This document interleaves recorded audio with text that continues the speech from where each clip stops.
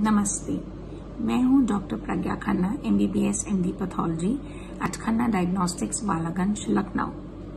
मैं आपको आज इंटरनेशनल योगा डे पर कुछ बातें बताना चाहती हूँ। इंटरनेशनल योगा डे या अंतर्राष्ट्रीय योग दिवस सर्वप्रथम 21 जून 2015 में मनाया गया था। 21 जून तारीख इसलिए चुनी गई क्योंकि 21 जून वर्ष का सबसे लंबा दिन होता है। और योग भी मनुष्य को दीर्घ जीवन प्रदान करता है।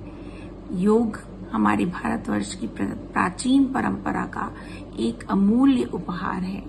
योग हमारे शरीर और दिमाग के बीच एकता का प्रतीक है और मनुष्य और प्रकृति के बीच सामंजस्य का। योग का तो अर्थ ही है समत्वम योग उच्यते, अर्थात सफलता, विफलता, अनुकूलता, प्रतिकूलता, सुख, संकट हर परिस्थिति में समान रहने को, अडिग रहने को योग कहते हैं।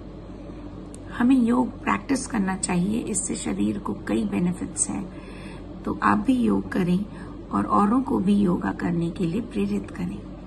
धन्यवाद।